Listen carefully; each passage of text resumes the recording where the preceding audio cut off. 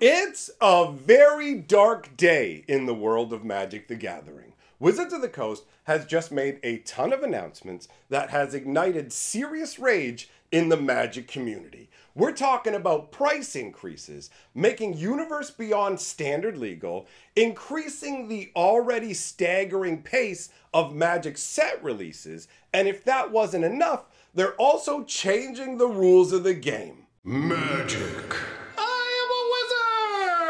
I am a wizard! History. I'm an old wizard! The magic historian. My bones hurt. Greetings! Owners of fine luxury cardboard rectangles, my friends.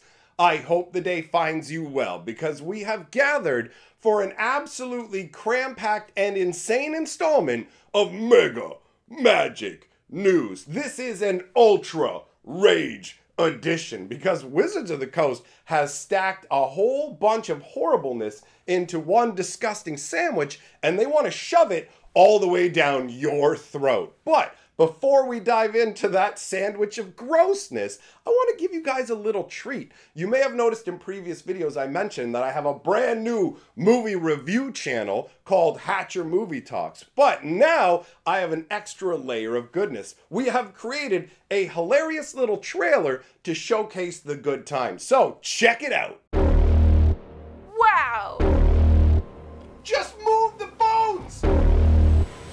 Ready to get got? Blah, blah, blah. I'm the actual devil, whoopity boopity.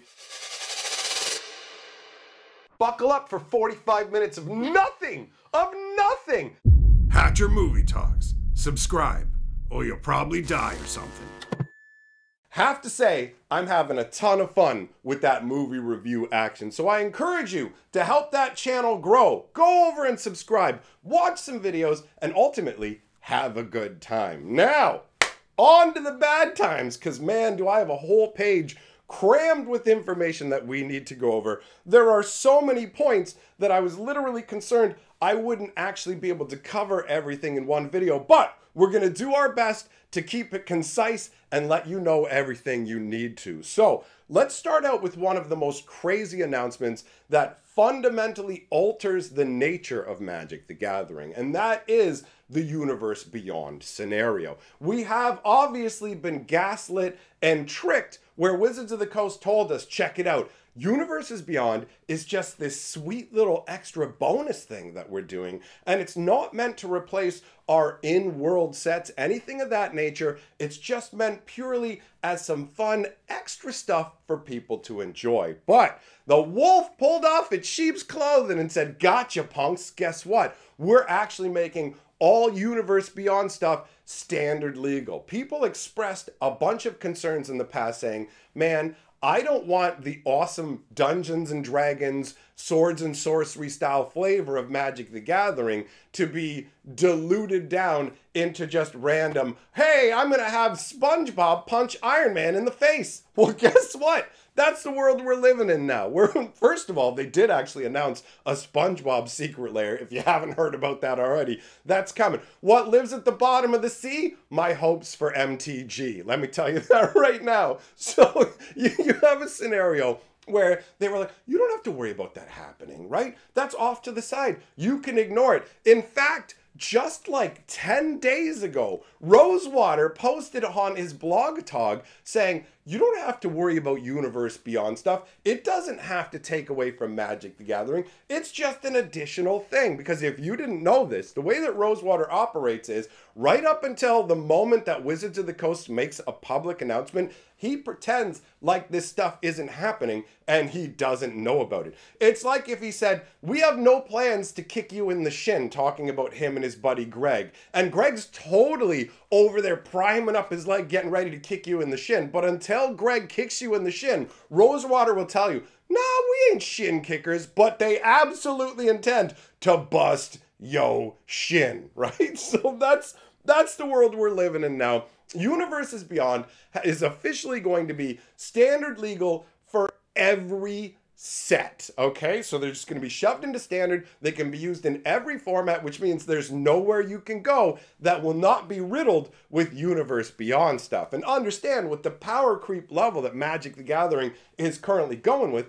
there is zero chance that these cards won't be ultra relevant. You think Wizards of the Coast isn't going to be making cards that they want people to use? Also, on top of that, remember, they're not really playtesting anything anymore. So it's super easy for some goofbag weirdo card from a set to be like, oops, this thing's ultra broken and everybody's using it. Tee hee, buy all the sets. And there you go. You're going to have this all shoved into standard, which is 1 million percent immersion breaking. Magic the Gathering's identity is going away. Remember how I said a moment ago that Rosewater's like, well, you know, this universe beyond stuff doesn't have to take away from the in-world magic. We're not losing anything except except when you look at the lineup for 2025, guess what? We were supposed to be getting Lorwyn in 2025. Nope. Lorwyn's been shoved to 2026. I wonder what's replacing it. Oh, yeah, a to be announced Universes Beyond product. So we're literally going to be getting six releases, all going into standard, 50% of which are Universe Beyond sets. Okay, so we've got basically Final Fantasy, Spider Man, and another Universe Beyond set coming this year. And then we have Aether Drift, Tarkir Dragonstorm, and Edge of Eternities. But the crazy part is, even the in world magic sets aren't really magic as we know it, where it's based around traditional high fantasy, swords and magic and everything like that. No, no, no. The first set that we're getting in 2025 is called Aether Drift, after Tokyo Drift. It is a race car set where they have reskinned individuals as check it out. I look like I come from that movie Greased Lightning. It's just the the insanity of it. They've got Chandra for the first time ever actually wearing her goggles doing an Akira slide on a motorcycle. Like, this is not Magic the Gathering. Card games on motorcycles is not Magic the Gathering, right? Drag uh, Tarkir Dragonstorm, that is the only set we're going to get the whole year that it's going to feel like actual Magic the Gathering. And I wouldn't be surprised at all if it had Universe Beyond tie ins, right? So then later on in the year, we're getting Edge of Eternities, which is an outer space set. Cards in space, which is again not Magic the Gathering. That is not. I'm riding a dragon with a sword, casting lightning bolts down from on high. It's like, prepare the photon torpedoes. We will blow their planet away. And it's like, uh, but Magic, Magic the Gathering? Like, this is just more of what we've gotten in 2024, where they've thrown aside the whole pretense of it even being magic and have gone, check it out, Thunder Junction and pew pew pew cowboy set. Check it out, Duskmourn, horror, but not the kind of horror you're used to, set in an actual magical world like Innistrad. It's just horror where, oh, we got Ghostbuster gear and windbreakers and Converse shoes. So they're trying to pretend to us we're still gonna have like real, like actual deep magic worlds when there's zero chance of that. When they talked about the new foundation set that's coming up, which funnily enough, made me think, yo, standard is about to improve. Standard's about to get better. They're paying more attention to standard, which is I which is what I wanted to see. But then they went, we're paying so much attention to standard, we're putting universes beyond in it. And I'm like, no, not like this. Never like this.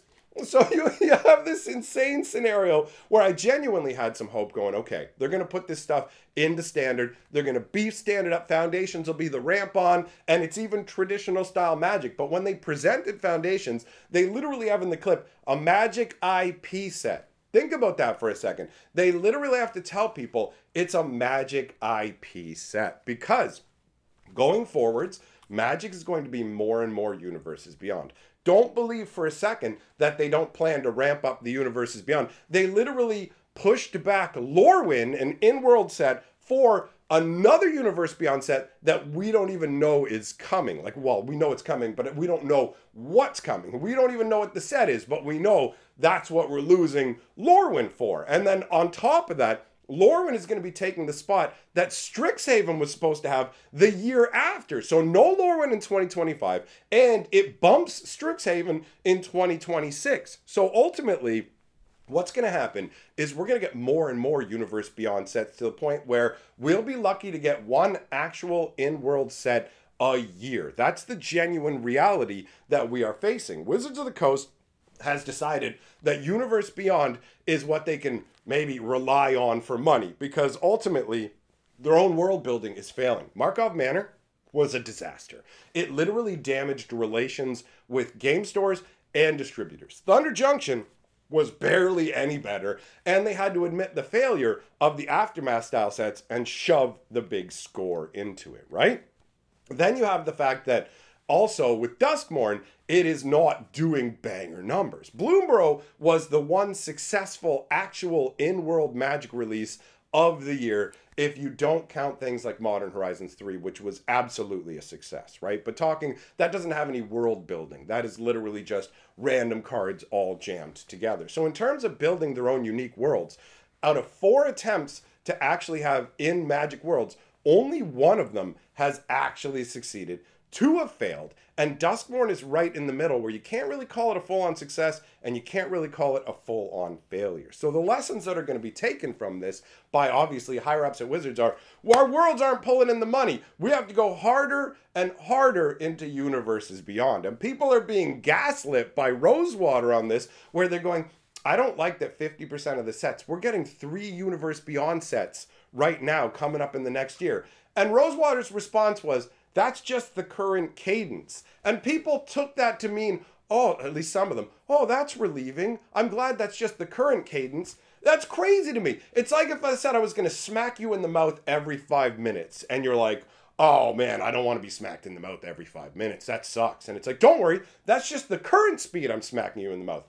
That doesn't mean I'm planning on decreasing. That could mean I'm going to start to do it every minute. Whap, whap, whap. And so it's just this insane setup where it's very, very obvious that they intend to make everything universe beyond. There's no question about it. Think about this. They came out today, just today, and said, we actually designed the Final Fantasy set, the Spider Man set, fully knowing they would be standard legal. So we were being lied to for the last year, year and a half, because that's how long it takes for them to actually design sets out, right? We were lied to for the last year, year and a half saying, you don't have to worry. This isn't going to be part of your main magic thing. You'll get to play with your cool swords and sorcery stuff, and we have plenty of in world sets. But now, oh, lo and behold, Universe Beyond is 50% and muscling actual worlds like Lorwyn out. And honestly, I don't have high hopes for Tarkir's Dragonstorm. When we back, went back to Kamigawa, they reskinned it essentially as Cyberpunk 2077. Wizards of the Coast has been trying to basically make every set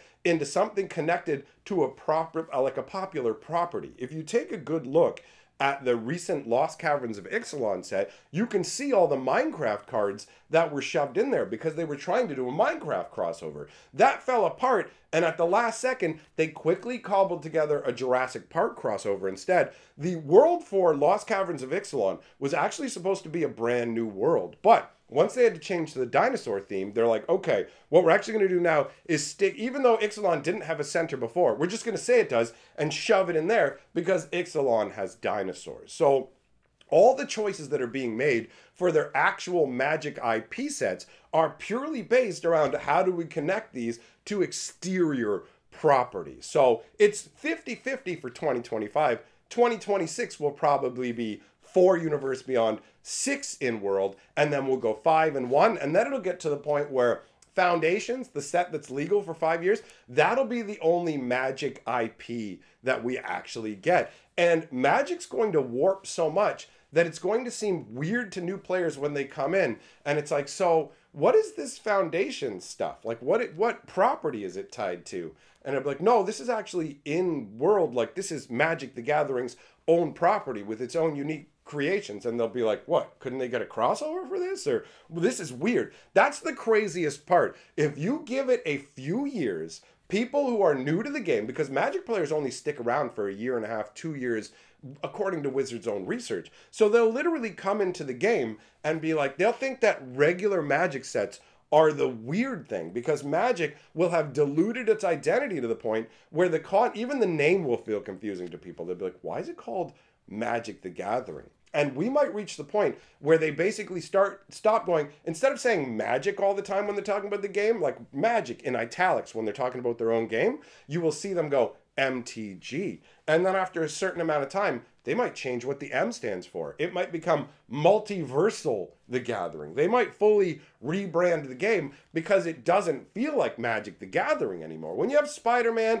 and Final Fantasy, does that sound like Magic the Gathering or does that sound like Mashup the Gathering, right? So we literally may get to the point where they ought just say, okay, we, we're going to change, we're going to change the name. This is, this is causing, all of this is causing multiple people to just bounce. They're not happy about universes beyond going into standard. They're not happy about 50% being universes beyond. The signals that we're basically going to be continuing down this road even harder. And when you look at like side little parts of Magic the Gathering, like MTG Finance, for example, there's all these rumblings of people going, okay, so I am selling off the mo- like most of my collection because the way Wizards of the Coast is doing things, they're going to gut this game and there's going to be no long-term value in any cards anywhere. Wizards had courted the investor concept quite a bit over the years, doing a lot of things to try and cater to them. And it's reached the point where people who are only interested in magic trying to extract money out of it, or I mean, they're still somewhat interested in playing.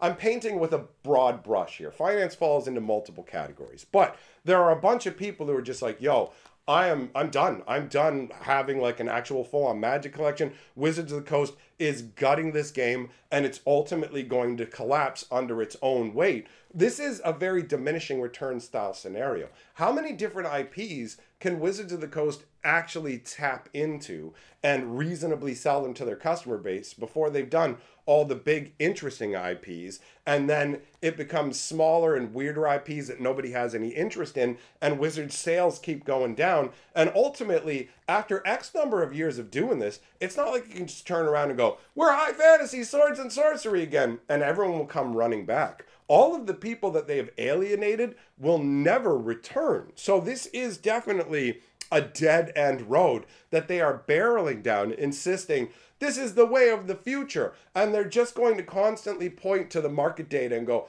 oh, this says the universe beyond is the way to go because our internal sets aren't doing well. But that's because their actual internal sets are poorly designed, quickly like just crapped out, and you end up with this scenario. It's it's absolutely wild. The amount of people who have just left comments on my videos and stuff going, yo, I'm unsubbing from every Magic channel. I'm just done with Magic the Gathering. They they're literally destroying the game that I love. I've never seen anything like it. Finance bros going uh uh uh uh. Like hardcore people, people who have been subscribed to my channel six, seven years are saying, "Yo, I'm done. I can't take anymore." And I get it. When I see it, I go, "Bro, this makes perfect sense to me." Magic the Gathering is genuinely falling apart, and they've been tricking us, right? They've literally been tricking us. There's a bunch of people over on Magic Arena who are in for a rude awakening, and some of them have already realized what's going to happen and are really upset. They're like, bro, I, I just got into this game and I love the flavor of all the different like high fantasy stuff. I absolutely don't want this universe beyond stuff, but it's going to be everywhere. You have no choice but to engage with the Universe Beyond going forwards. And it was always presented to us as if it wasn't this creeping plague that was going to take over everything. It was just a fun way for people to have some fun with some different stuff. But that's not the reality. That's not what we ended up with, right? So you have all of this coming together. And then you have the fact that they're cranking magic prices as well. They have brought back MSRP, which is the manufactured suggested retail price. Wizards of the Coast got rid of this years ago and basically hosed LGSs by doing it. When they got rid of the suggested retail price, that meant that consumers had nowhere to look and go, oh, this is what the price is supposed to be. Am I being overcharged? So they would go into a game store and see something, for example, Bloomburrow versus Modern Horizons 3. Modern Horizons 3 packs cost two or three times the cost of a booster pack. But to anybody from the outside, they would just come in and be like, well, wait, hold on. These two sets, they got to cost the same to produce. So why is this being charged three times as much? It must be the greedy game store owners. So the MSRP coming back actually helps game store owners. I'm happy to see that. But unfortunately, everything else Wizards has been doing is completely hosing game store owners. Like the sets that they've been pushing out the the fact that Markov Manor brutalized stores profitability a ton a ton of stores and distributors took a bath on that set, lost a bunch of money. Thunder Junction, Wizards of the Coast use manipulative tactics to try and boost sales with that. They've got the secret lairs where they're extracting all the money from the secondary market so that the LGSs don't have the ability to sell singles the same way. So while this is a nice little thing for LGSs, the relationship with Wizards has already been super soured to the point where lots of LGSs are leading heavy into other games. Lorcana, One Piece, new random games coming out of nowhere like Altered. In fact, I'm going to be doing a case study sometime soon where I use a particular card game that most of you haven't heard of to illustrate why Magic players are abandoning this game and leaving not just to the bigger games, but to other TCGs too. Tons of people are taking bites out of Magic's business because Wizards of the Coast is is basically a bloated monstrosity at this point that's all about extracting as much money from us while providing as little value as possible. So, the return of MSRP literally shows that from foundations moving on to the next set, Aether Drift, vroom vroom beep beep, that set is going to have another price increase. And I wouldn't be surprised to see multiple more price increases throughout the year because remember, we just looked at their financials recently. I think it was two videos ago. If you haven't seen it, go check it out. And Magic the Gathering is already topping out at the money they can make. They can no longer crank insane money for Hasbro. And so they have to keep going at the speed they're going or increase the speed. Remember, I predicted this. I told you guys that Universe Beyond's basic presence would increase. And I told you that Wizards of the Coast would crank out sets even faster and faster. If you felt a lot of whiplash from Bloomburrow to Duskmourn to Foundations, because the Foundations pre release is one week from now, friends. So if you felt whiplash from that, guess what? That's the new pace that Magic the Gathering is going at full on. So every two months, bam, new set, bam, new set, bam, new set it's probably going to reach the point where Magic the Gathering will be a new Universe Beyond product every month. And those sets will be put together by outside contractors that don't care about Magic the Gathering very much and are just doing a job and they won't be tested properly and the cards will just and also I very much believe that once Wizards of the Coast makes this fundamental shift over into not really being what it was, that they will also loosen their stance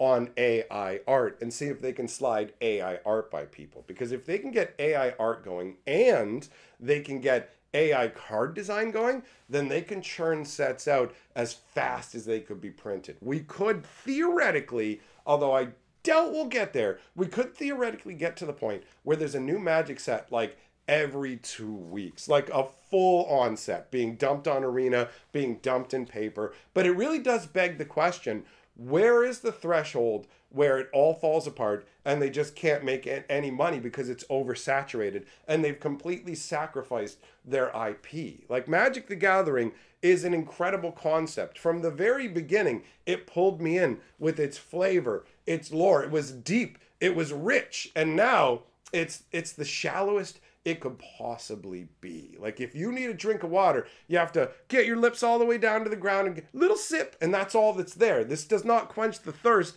of people who genuinely like swords and sorcery style stuff anymore. And honestly, this universe beyond stuff, people will get in for an IP that they really like. Yo, I really love SpongeBob. Oh, now it's the Power Rangers? I don't care about the Power Rangers.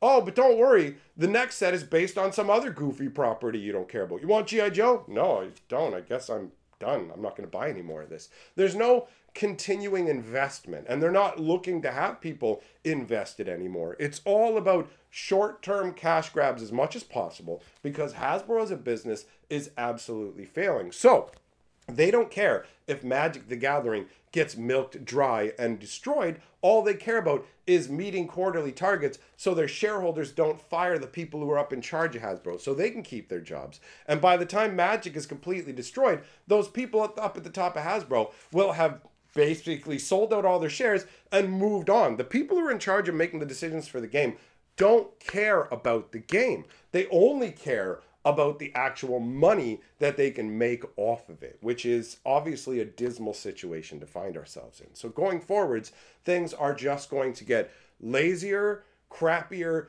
and more disjointed. I genuinely wish that I had more positive things to say about Magic the Gathering, but I really am thinking about I have a channel called Fantasy Geographic where I talk about Magic the Gathering lore. And I was stunned when it when it dawned on me. I'm like, "Wait a minute. Is there going to be any more magic lore? Like, are we going to get one, maybe two sets a year with five paragraphs of story where they don't worry about any of it making sense? Because who cares about lore? We're focusing way more time on making sure our Universe Beyond projects feel proper, putting way more effort into that. And it might just get to the point where they absolutely abandon magic lore. You might not realize this, but once upon a time, Standard was made of three sets all on the same world each year. So we're going to Mirrodin and we're going to release three full length novels to tell you the entire story of it, which was epic compared to what we have now. I'm not going to pretend like magic lore is something on the lines of like Wheel of Time or the Malazan books or whatever. It's not like they are the pinnacle of fantasy reading, but when you genuinely are into a game like Magic, those books are amazing. They add so much so much to the game, right? And so all of these things are falling away. We're losing all of it as Magic the Gathering becomes Spider Man just flip flopping around. Check it out, I'm Spider Man and I'm gonna go fight the god of the war on the back of a Shadow of Colossus. But hold on, I'm driving a monster truck while drinking a monster drink, and it's just like, it's.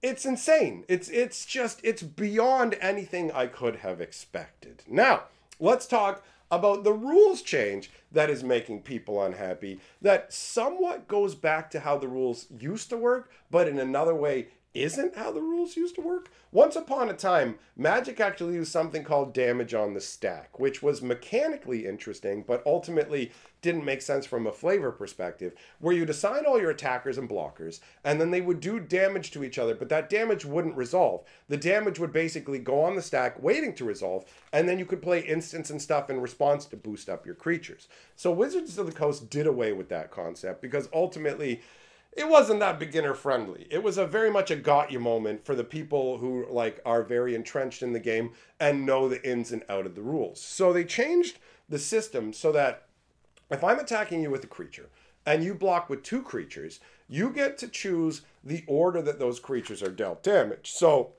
you can basically go, I'm going to choose which one of my creatures. If you put two three threes in front of a five five, then the first three three you've chosen will take three damage, and the second three three will take two damage. So essentially, you will get to choose to save the second three three.